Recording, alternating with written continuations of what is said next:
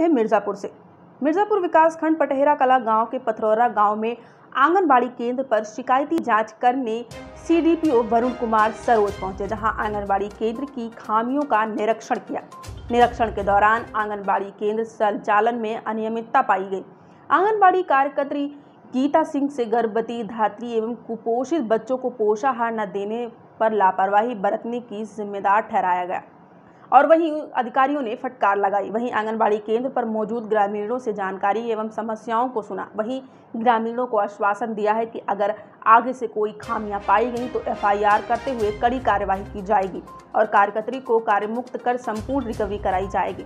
कार्यकर्त्री ने जाँच में आए अधिकारियों से अपशब्दों का प्रयोग करते हुए कहा कि मेरा ऊपर तक संपर्क है। आप मेरा कुछ नहीं कर सकते। इस तरीके से उस कार्यकर्त्री के अंदर अपने कार्य के प्रति ज़िम्मेदारी और अधिकारियों के प्रति सम्मान नहीं दिखा।